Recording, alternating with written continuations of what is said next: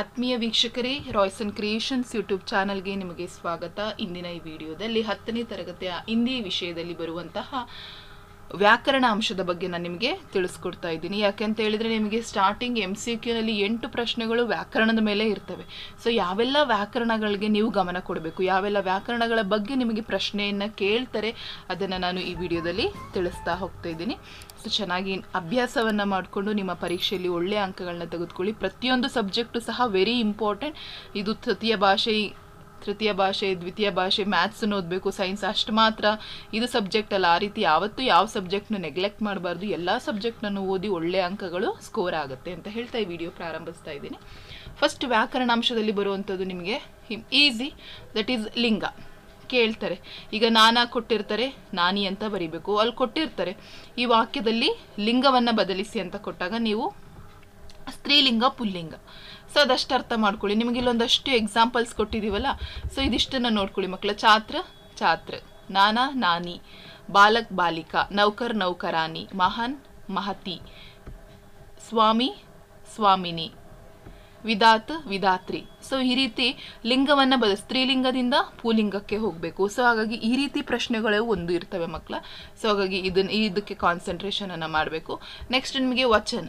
ವಚನ ಬದಲಿಸಿ ಅಂತಲೂ ಕೇಳ್ತಾರೆ. ಏಕವಚನ ಯಾವುದು? ಬಹುವಚನ ಯಾವುದು? ಸೊ ಕೊಟ್ಟಿರೋ ಆಪ್ಷನ್ಸಲ್ಲಿ ಯಾವುದು ಏಕವಚನ ಅಂತ ಹೇಳಿ ಕೇಳ್ತಾರೆ. ಹಾಗಾಗಿ ನೀವು ಏಕವಚನ ಯಾವುದು, ಬಹುವಚನ ಯಾವುದು ಎರಡೂ ಸಹ ಕಲ್ತ್ಕೊಂಡಿರ್ಬೇಕಾಗುತ್ತೆ.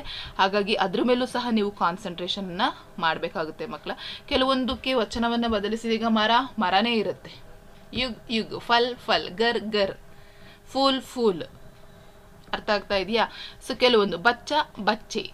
ಸೊ ಅಲ್ಲಿ ಮಕ್ಕ ಮಗು, ಮಕ್ಕಳು, ಅಲ್ಲಿ ಹೋಗ್ತವೆ. ದಯಾರ್, ದಯಾರೆ. ಅರ್ಥ ಆಗ್ತಾ ಇದೆಯಾ? ದುಕಾನ್, ದುಕಾನೆ.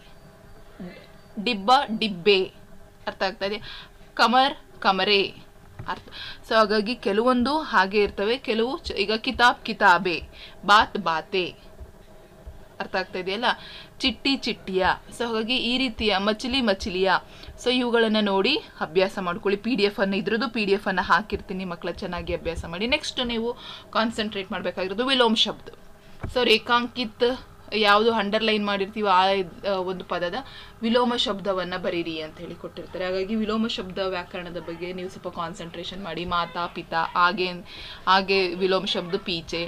अमृत विश्व परतंत्र स्वतंत्र चल अचल शाम सुबह गरीब अमीर हाथी हाथिनी ಬೈಲ್ ಗಯ ಆದರ್ ನಿರಾದರ್ ಸೊ ಹಾಗಾಗಿ ಈ ರೀತಿ ನೀವು ವಿಲೋಮ ಶಬ್ದಗಳಿಗೆ ಹೆಚ್ಚು ಕಾನ್ಸಂಟ್ರೇಷನನ್ನು ಮಾಡಬೇಕಾಗುತ್ತೆ ಮಕ್ಕಳ ಅದ್ರ ವಿಡಿಯೋನು ಸಹ ನಾನು ನಿಮ್ಮ ಜೊತೆ ಶೇರ್ ಮಾಡ್ಕೊಂಡಿರ್ತೀನಿ ನೆಕ್ಸ್ಟ್ ನಿಮಗೆ ವಿರಾಮ್ ಚಿಹ್ನೆ ಸೊ ಅಲ್ಲಿ ಒಂದು ವಾಕ್ಯವನ್ನು ಕೊಟ್ಬಿಟ್ಟು ಅಲ್ಲಿ ಚಿಹ್ನೆಯನ್ನು ಬಳಸಿರ್ತಾರೆ ಅದು ಯಾವ ಚಿಹ್ನೆ ಅರ್ಥ ಆಗ್ತಾ ಇದೆಯಾ?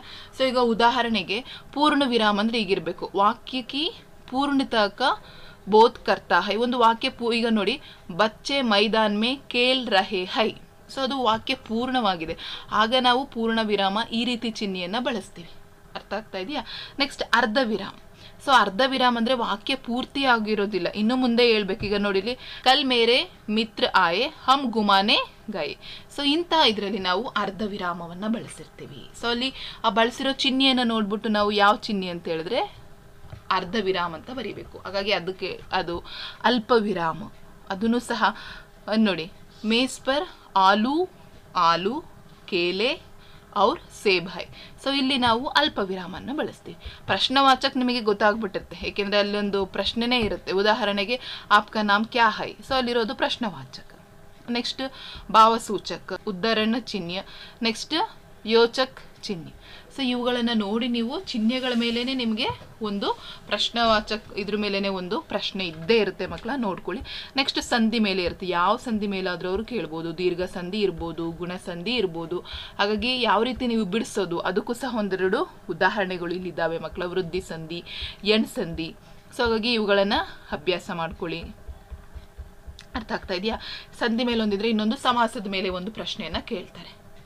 ರೈಟ್ ಸೊ ಕರ್ಮಧಾರೆ ಸಮಾಸ ಇರ್ಬೋದು ತತ್ಪುರುಷ ಸಮಾಸ ನೆಕ್ಸ್ಟ್ ದೀರ್ಘ ಸಮಾಸ ದ್ವಂದ್ವ ಸಮಾಸ ಸೊ ಹಾಗಾಗಿ ಇವುಗಳ ಮೇಲೆ ನಿಮಗೆ ಬಹುರ್ವಿ ಸಮಾಸ ಸೊ ಸಮಾಸದ ಮೇಲೆ ಒಂದು ಪ್ರಶ್ನೆ ಇರುತ್ತೆ ಮಕ್ಕಳ ಅದಂತೂ ಕಂಪಲ್ಸರಿ ನೆಕ್ಸ್ಟ್ ಏಳನೇದಾಗಿ ಪ್ರೇರಣಾರ್ಥಕ ಕ್ರಿಯೆ ಕೇಳಿರ್ತಾರೆ ಸೊ ಮೊದಲನೇದು ನಿಮಗೆ ಗೊತ್ತಿರಲಿ ಮಕ್ಕಳ ಇಲ್ಲಿ ಬಹಳ ಈಸಿಯಾಗಿ ಬರಿಬೋದು ಸೊ ಪ್ರಥಮ ಪ್ರೇರಣಾರ್ಥಕ ದ್ವಿತೀಯ ಪ್ರೇರಣಾರ್ಥಕ ದ್ವಿತೀಯ ಅಂತ ಬಂದರೆ ಮಕ್ಕಳ ಈಸಿಯಾಗಿ ದಿಕ್ವಾನ, ಮಿಲ್ವಾನ ಬಿಜ್ವಾನ, ಚಲ್ವಾನ, ಲಿಕ್ವಾನ ಸೊ ವಾನ ಸೊ ಇವು ಬಂದ್ಬಿಟ್ಟಿರ್ತದೆ.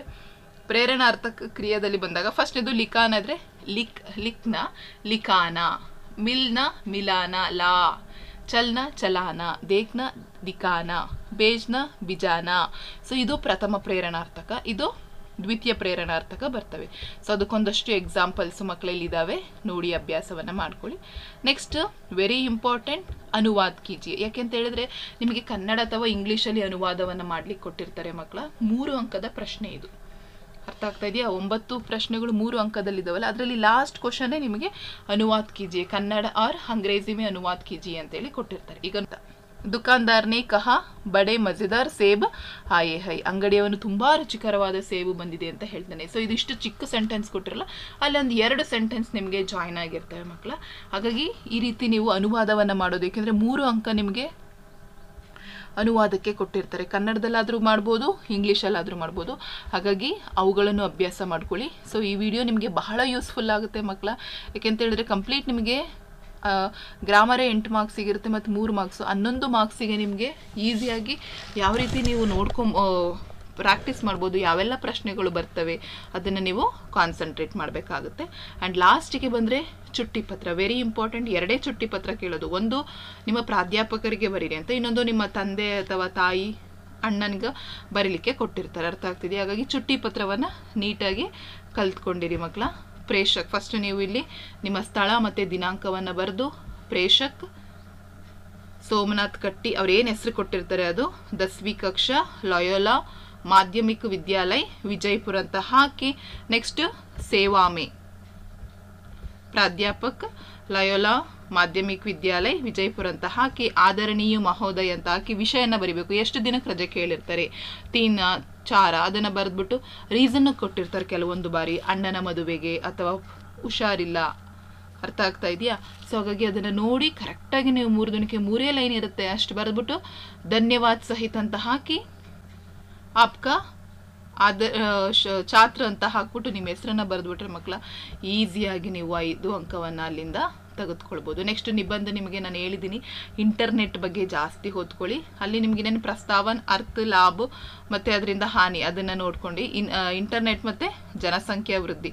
ಸೊ ಈ ಎರಡು ಕಾನ್ಸೆಪ್ಟಿಗೆ ಹೆಚ್ಚು ಗಮನವನ್ನು ಕೊಟ್ಟು ನೀವು ಓದ್ಕೋಬೇಕಾಗುತ್ತೆ. ಹಾಗಾಗಿ ನಿಮಗೆ ಎಕ್ಸಾಮ್ಗೆ ಇದು ಯೂಸ್ಫುಲ್ ಆಗುತ್ತೆ ಅಂತ ಹೇಳ್ತಾ ಈ ವಿಡಿಯೋ ಮಾಡಿದ್ದೀನಿ. ಇದರ ಪಿ ಡಿ ಎಫ್ ಇರುತ್ತೆ ಡಿಸ್ಕ್ರಿಪ್ಷನಲ್ಲಿ ನೋಡಿ, ಅದರ ಯೂಸನ್ನು ಪಡ್ಕೊಂಡು ಎಕ್ಸಾಮಲ್ಲಿ ಒಳ್ಳೆಯ ಅಂಕಗಳನ್ನು ತೆಗೆದುಕೊಳ್ಳಿ ಅಂತ ಹೇಳ್ತಾ ಈ ವಿಡಿಯೋನ ಇಲ್ಲಿಗೆ ಎಂಡ್ ಮಾಡ್ತಾ ಇದ್ದೀನಿ. ಹೆಚ್ಚಿನ ವಿಡಿಯೋಗಾಗಿ ರಾಯ್ಸನ್ ಕ್ರಿಯೇಷನ್ಸ್ ಯೂಟ್ಯೂಬ್ ಚಾನಲನ್ನು ಸಬ್ಸ್ಕ್ರೈಬ್ ಮಾಡಿ.